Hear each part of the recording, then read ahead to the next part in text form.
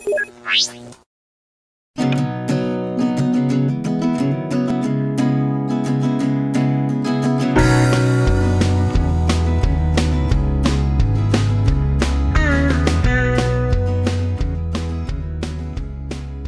بنشتغل في الامسكات ومن ضمنها العملة. دي حاجات تذكارية لمحمد علي مش عملة متداولة يعني.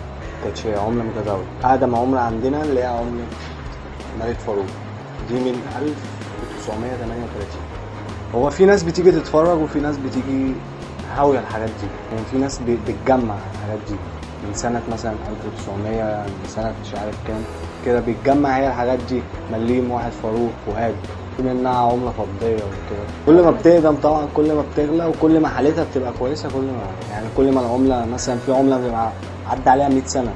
فالحالة بتتدهور بتاعت ال- بتصدي. بس في ناس بتحافظ يعني.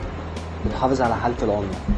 فكل ما الحالة تبقى كويسة كل ما العملة تبقى أغلى في من 3 جنيه اللي هو الشيلينات والحاجات اللي هي من قريب 50 سنة 30 سنة.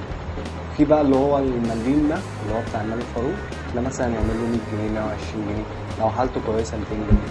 في منه فضة ممكن يعمل 500 600 جنيه كده. في حاجات نادرة ال- بتبقى في المتحف. بيبقى إحنا عندنا منها اللي هو الشكل اللي هو ال- الكوبي بتاعها في حاجات اللي هي بتعدي مثلا 300 سنة و400 سنة الحاجات القديمة قوي دي يعني مش عارف. يعني ممكن أقدم عملة عندي تلاقيها عاملة 90 سنة 100 سنة بالكتير قوي دي العملة القديمة اللي عادي إن أنا ممكن تصرح لي إن أنا إيه؟ ابيعها عادي. في السياحة زي ما أنت شايفة كده. حضرتك كل اللي بره دول كنت بتشوفي أجانب كنت بتشوفي مصريين عرب أجانب. أنا محتاج السياحة تشتغل بس. بصراحة يعني. عشان أقدر أطور من شغلي.